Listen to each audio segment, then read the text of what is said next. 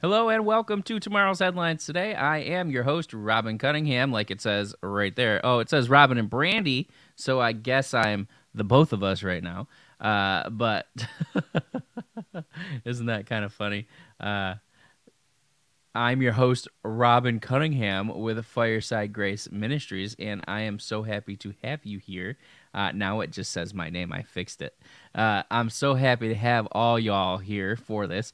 And I just want to start out by saying if you're wondering why I'm wearing the same shirt as I was in the video that I posted previously, it's because this is a pre recorded video. So uh, there you have it.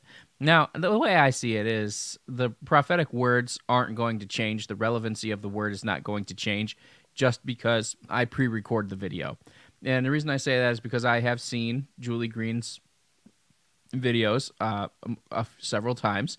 Um, I don't watch them, you know, very often or frequently, really. And I'm, I'm, sure she doesn't watch us frequently either. Like, usually prophetic people don't um, don't get involved with other people's um, prophecies and stuff. Not that we don't know each other or, talk or anything like that, but um, we're not like prophecy seekers. And usually, for most prophetic people, we try to keep our words pure by not listening to other people's words. And that will prevent us from becoming parrots.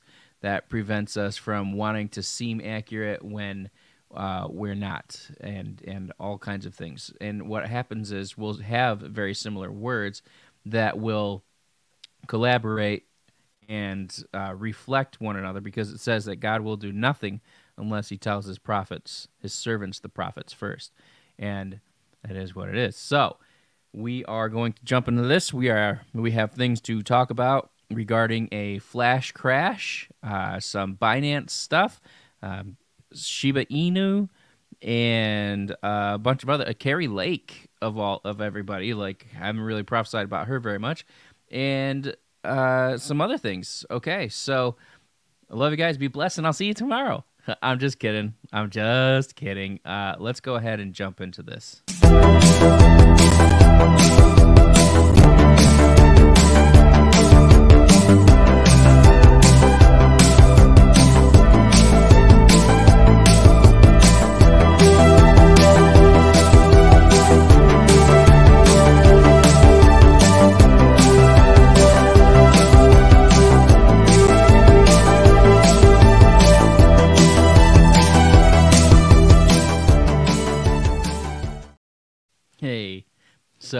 I really love that intro. I've been thinking about making a new one uh, because, you know, I just kind of get bored with the intros and I just want to make a new one. Uh, but one day I'll have an intro that I'm just like, oh, I love it so much. I've got to go with it. Uh, so I I don't know. I kind of like the Fire Lion one. Maybe I'll get back to that sometime. Maybe I won't. I don't know. But, you know, whatever. So we'll check it out and I'll, I'll look into it. But just know this I'm not wanting to change it just because some people said, I don't like that intro, or I don't like the 80s music, or the music is terrible. There's always people who get butthurt about something um, in ministry. Pardon my French, pardon my uh, military lingo here. Um, but, uh, you know, that's not what makes me want to do things. I do things as I feel led by the Spirit, or just because I want to sometimes. So there's that. All right. So uh, we are officially a 501c3. If you are the type of person who is willing to go back and amend your 2022 tax returns, um, and you would like a receipt for your uh, charitable contributions that you've sown into this ministry, we will be more than willing to send you that receipt if that's what you want. But you have to email us uh, at firesidegrace at yahoo.com so that we can do that for you. All right. Um, also, we uh, are going to be changing things on our uh, website. Things will be on a per donation basis, like any other 501c3. And uh, that about uh, sums that up. Make sure you check out Brandi's uh, dog training site, experttraining.org. That's expert training.org. O-R-G. Uh, go to her Shalom Sanctuary area and look at the dogs that we have for adoption. Several of the dogs are not listed on the website. So if you want to see those other dogs and there's a specific dog or breed that you're interested in adopting, adopting, please let us know. And the the benefit of adopting from us is a number one, you help us save dogs and accomplish part of what God's calling is on Brandi's life. But you get this dog that is fully trained in basic obedience. Uh, so it will know come, sit, down, place, and it will obey your commands the first time that you tell them uh, what you want them to do. We don't teach shake because that encourages people to or dogs to become handsy and pawsy, and uh, that we we just don't encourage that. But if that's something you want, feel free to do that with your dog. Um, so uh, you get that. Also, they're all vetted, uh, gr- groomed, professionally groomed, taken care of, up to date on all of their shots, uh, chipped. And everything, you know, they will be spayed or neutered. So if you're trying to breed them, it won't happen. You might want to look elsewhere. But we Brandi trains service dogs, and we all if you're a veteran and you need a service dog, she we typically train service dogs for veterans for free. All right, unless you want to sow into the ministry and and help that because it is a month long process that Brandi takes to train that dog and make sure that it's rock solid uh, to get all the paperwork to meet all the federal requirements and to give you a proper licensing certification for a service dog. Anybody can go and print off a certificate saying that the dog is a service dog but you can get yourself in a lot of trouble doing that. Not that it's necessarily illegal, but when you have a dog that's lunging at another dog uh, or chasing after children or is uh, prey driven or something like that, chases after squirrels, then it's not going to be very helpful or functional for you as a service dog. And it gives service dogs a bad name and could put severe restrictions on them, such as what people have done with emotional support animals and made it so that emotional support animals typically don't get public access anymore uh, like they used to. They used to be able to be treated like service animals, but people abused that. So these are all things that um, Brandi works on. She's also a professional dog trainer. So if you're in the Dallas Fort Worth area or you're willing to come to the area, she will uh, be more than happy to train your dog. She does three week board and trains where we take, feed the dog, house the dog, take it out, pee, poop. She even, uh, before she gives them back, grooms them, uh, cleans them, does their nails, and, and makes sure that they're all taken care of and, and looking real nice and sharp, and also has all of their commands off leash and on leash unless they are aggressive. But they'll have all of their um, commands off leash as well as on leash so that you can trust them if you're going out in public, that you can have them walk beside you with or without a leash and maintain a perfect heel or down when you need them to down or come when you need them to come. So that's the level of expertise that uh, she has and puts into dog training. Okay. Um, that's experttraining.org. Also, if you want to partner with us, you can do so at firesidegrace.com backslash partner with us, or you can find us on PayPal as at firesidegrace, or you can send checks or money orders to 2145 North Josey Lane, Suite 116 501, Carrollton, Texas 75006 or down in the description will be all of our info for like crypto coins and stuff like that. Um, and if there's just another way that you want to uh, uh, support, just let us know. Uh, we have we have ways. You know, the Venmo's there, all all the stuff. Okay. All right. That being said, um, we really do actually like we're at the the wire here. You know, rent's due in five days, and donations are down by fifty percent. That's all. I don't like to say that because it sounds like I'm begging, but we need your prayers. Um, God will show up. We know that God will show up. He always, always, always does. And the good news is now it's a tax deduction for y'all. So um, we will be getting those receipts for you for your deductions. Uh, all right, so let's jump into the tomorrow's headlines today. Nine minutes and 15 seconds in here. Kept y'all on the hook talking about dogs for about five minutes. All right, the first thing I saw was a crypto crash. I saw a drop coming in cryptocurrency, and it was a pretty significant drop where I saw Bitcoin had gone down under 24 something. Uh, what I see is like 23,000 something or other, and that's a significant drop um, from where it is. But I had a sense the Lord said that in this time it will be short lived. It's not going to last a really long time. Um, but the Lord said that's the perfect time to invest because things are going to turn around rapidly. Now, I don't think rapidly means within the next day or within the next week or maybe even within the next month, but rapidly, as in sometime this year or something like that. But I do, I have seen the Lord say that this year Bitcoin would have substantial growth, um, that you would see a, a doubling from its its low, its previous low to where it was. I don't know even what that means, but whatever. Um, I also saw that there was a flash crash where something dropped in value by eight thousand uh, dollars of value. So I don't know what's out there that has that much value or uh, whatever. But it was on one specific platform. I don't know exactly which one. Um, but then the Lord started to speak to me about Binance and Kraken. So I want to uh, get into that. Um, but seek him on where that flash crash is going to be because he said that it will be popping up here very soon. Um, very, very soon. I want to say, I mean, last time he gave me a word like this, it was like the next day that it happened, and people were trying to jump in and cash in on that. So that's something that you'll probably have to keep your eyes open for. But the Lord wants to bless those who are willing to humble themselves and listen and have good hearts and pure motives and intentions um, because He'll drop that short and allow you to get in at basically pennies on the dollar and make a very large profit at that moment. Okay.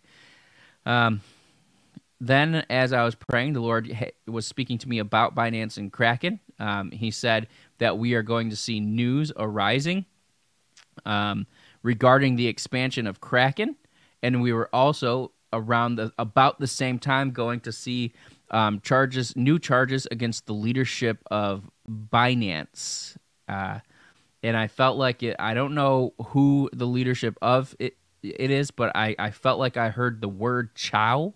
maybe it's a name. I don't know, but I heard Chow, but it was spelled C H A O, not C H O W or C H O A or something like. I don't know. Um, but that's what I heard was Chow, but it wasn't spelled like we spell Chow, like C H O W. Okay. All right. Next, the Lord said that the SEC is going to begin to target Shiba Inu very, very soon. Um, what the Lord's telling me right now is that behind the scenes, they already have a plan and process. They're already watching them and observing them, and they're formulating a case to attack Shiba Inu, um, attack some discrepancies and some policies and stuff like that. And basically, what it is going to be is a blackmail procedure so that they can get their protection money from Shiba Inu um, because they see the value in Shiba Inu here in its early stage in the game, knowing that it is going to be valuable in the very near future. Um, and, and, it will be very similar to what they did to Elon Musk when he was forming Tesla, where they kind of forced him to make a payment or said, we'll shut this down completely. Um, and so he had to end up making a, a, payment to the SEC in order to save his company. And uh, he's, he's pretty bitter about that, by the way. So um, that's something that you need to pray about, especially if you're invested in Shiba Inu. But Shiba Inu is going to have good growth. And here's the thing about that. While I was praying, I felt like the Lord was saying that they were going to pay them, that they would actually make a deal. Um, and and that what that would lead to is very large investors that actually invest billions of dollars into Shiba Inu, not just um, maybe a million here or a few hundred thousand or a few thousand here and there, but literally someone would come along and say, you know, this is something that I want to put $1 billion into. Um, same thing with Doge, that someone will come along and invest a huge amount, like a billion dollars or more, into Doge, and it would just drive the price of Doge to go up exponentially. And I don't know if that was all at once or if it was through multiple transactions, uh, but you you would see that um, because it's an open and public forum where you can open and publicly see what's being traded. That you would be able to see this person start to pump lots of money into it, and then people would just jump on board and start dumping money into it as well.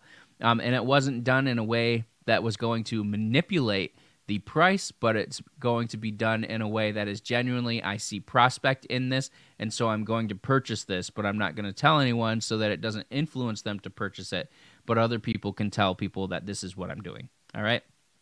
Now, this is something that the Lord was speaking to me while I was praying. This is interesting. This isn't your typical type of prophetic word that I get here. Um, this it it reads as follows. This is what I was hearing from the Lord. Some of us are afraid that if we discover who we are or accept who we are and begin to walk in that, that we feel like we will be rejected. Fear of the unknown, fear of rejection, and fear of failure um, prevent us from doing what God has called us to do. We become afraid to be who God made us to be because we don't feel like it's okay to accept that role, that title, or that responsibility. And there's a false perception that if we claim that we are prophets or healers or wise, that suddenly we are prideful, we are arrogant, and we respond in such a way as to need to be a, um, and and we are not humble, we are not right. Now, don't get me wrong. If you are being arrogant and you respond in such a way as to need to be addressed by your title as apostle so and so, or prophet so and so, or evangelist so and so, or so forth, then you are probably in a bad place right now and as far as where your pride and ego needs to be right? Uh, however it is not wrong. The lord wants you to know it is not wrong to accept what your calling is and operate in it. Because if someone gives you a prophetic word and says that you are called to be a prophet and you say well i don't know about that. I don't really feel that or um, I'm not sure about that. I'll have to pray about that. And, and other people tell you, you're called to be a prophet. You're called to be a prophet. And you keep saying, no, no, no, I'm not a prophet. I'm not a prophet. I'm not a prophet. You're denying your call. You're denying what God has called you to be. You need to receive that gift. If I put $10,000 on a table and said, this money is yours, if you take it, you will have all of the benefits that come with having $10,000 but you never pick up that $10,000 and you never take it, then you do not receive the benefit of even $1 of that which was yours in the first place because you didn't receive it. You don't have to walk around and be called the great grand master prophet, uh, interdimensional prophet of this, that, and the other thing. But it's okay to say, okay, Lord, You've called me to be a prophet. I don't know how to do it, but I receive it. I will do this. And as you learn and grow, He will call you into that office. When you're ready to be promoted, He will tell you when you're promoted. He will tell you exactly where you are. Like people call me a general. They're like, You're a general of the faith. I'm like, Well, that's not what the Lord said. The Lord said, I am a commander, actually, which is not that high nor that low. It is an officer. I uh, have an office. The Lord has called me to an office. He has called me to the field, um, and several things that that He's called me to do, or what I'm supposed to do. But it was about thirty some odd years before He did that because I had to mature. So there's a difference between operating in the capacity of a prophet or operating in the spirit of the prophet versus operating in the office of the prophet. Okay. Now, like I said, it's not wrong to accept your calling and operate in it, but to never step out and do what God has called you to do, that is the plan of the enemy. The enemy will use your fear of failure, your fear of rejection to convince you that you don't deserve to do this, that there are others more qualified than you, that there's better things for you to do, etc. Satan will feed you that lie as long as you will partake of it.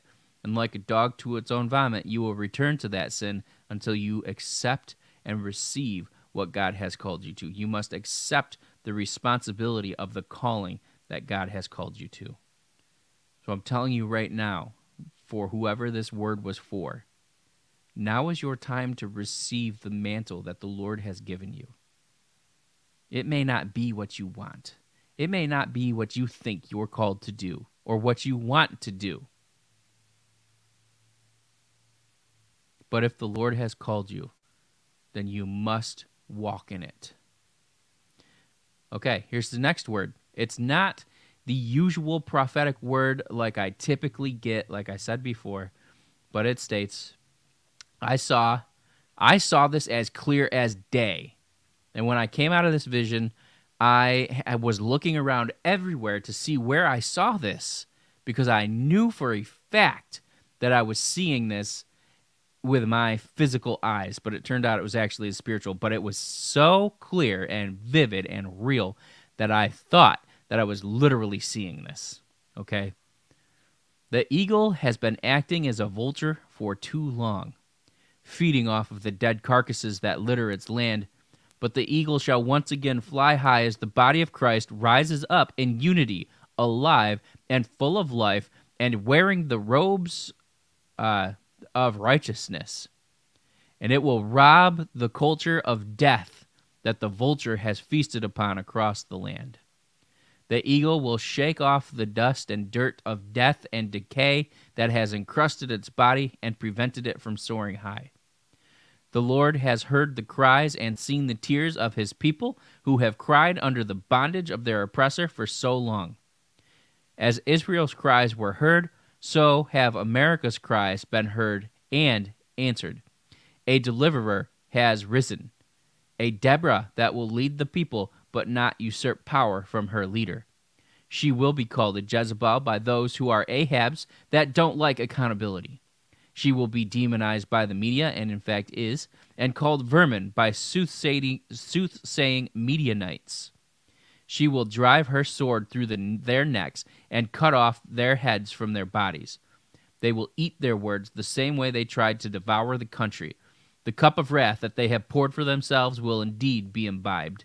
Kari Lake will not only be a Deborah, brave and bold as a leader of the people, as a judge. When the people cried out for a judge, for righteous judges, the Lord raised up judges, as in the book of Judges, judges, but not only the type of judges that we thought we were asking for, not just righteous Supreme Court justices, not just righteous lower court, federal court justices, or righteous county clerks, or whatever. He has raised up Deborahs. He has raised up Davids. He has raised up Samsons. He has raised up Gideons to do what he has been asked to do, to deliver the nation he's been asked to deliver. Because the church stopped crying out for the leadership of man, but has cried out for the leadership of God. And because of this, God is going to move and restore things in this nation. Because part of the reason why the 2020 return of the king was delayed was because people were praying for restoration of the trumpet. And we were crying out like Israel cried out for a king rather than for God. We were crying out for the trumpet to be restored rather than for God's justice to be restored. And we had to shift that and say, well, God, you do what you're going to do. You raise up righteous judges. You deliver this nation. And we didn't put a restraint on how he can do it. That doesn't mean that he's not going to do it the way that it's been prophesied. It simply means that now the delay is coming to an end. The Lord said, They will eat their words the same way they tried to devour the country, and the cup of wrath that they poured for themselves will indeed be imbibed. Now, listen, this is the part where I left off. Kari Lake will not only be a Deborah, brave and bold as a leader to the people, but she will be like Yael, that drives the stake through the head of Barack O'Biden. That's what he said to me, Barack O'Biden. okay, next. So what I saw with that, basically, I shared with you with that was I saw uh, a vulture sitting on a branch. And then I saw that vulture was scavenging carcasses, that it was feasting off of the death. And that vulture was supposed to be a prophetic movement. And the, the people who were still alive on the ground seeing these this vulture feed on death and become nourished from death rather than on God started to cry out for righteousness, for justice to God, for God to raise up a leader. And all of a sudden, that vulture started to shake its feathers, and the dust and dirt came off, and it wasn't even a vulture; it was an eagle. And the eagle looked like a vulture because it was covered in dirt, sin, and nastiness. But the Lord has brought restoration, and the eagle took off into the sky and flew. And when that eagle took off and flew, the death in the land was converted. I saw him raising up judges like Kari Lake, like Amy Coney Barrett, who's going to be in the news very much recent in in the near future. and he started to bring justice where people had given up on justice. He started to bring voting change and reform where people had given up on that. And we're going to see these things happen. And in the long run, we see a big victory where the trumpet begins to sound its horn and we go back into. But there is one more test because even though there will be a restoration of the trumpet, there will also be a coronation. Oh, maybe you can say inauguration. But there will also be a coronation of God's David. But it will come down between Trump and DeSantis, and that is a test for America. Because though DeSantis would be a good leader for America, this is not his time to reign. But if the people should so choose and did not pass the test, he would come in before his time, and the things that he would accomplish in 2028 would not be accomplished in 2024. And so he would fall short of being able to do all of the things that he was called to do. You also need to keep Kari Lake in your um, in your mind and in your prayers, uh, because she might become the most uh, powerful woman in history that is legitimately elected, becoming the number two, the vice president. So that's something that you need to pray about. All right, the Lord said, in awe the nation. Okay, and then the last thing that I saw was the Lord said that there was going to be a discovery of homemade bombs that are discovered around Washington, D.C., that they would be blamed on right wing conservatives. However, video surveillance will show that it was not right wing conservatives, but it was in fact tied to the government and several uh, not right wing and liberal groups. Okay, so what I shared is sensitive in nature, but it's also on Rumble. So if you're watching this and I just disappear, rumble.com backslash fireside grace. You can find us there. Like and subscribe, share with your friends. Um, go support us. Go right now to our firesidegrace.com website and go to the partnership page and partner with us um, in whatever way you see fit. And until next time, I love you guys. Be blessed, and I will see you again very soon. Bye.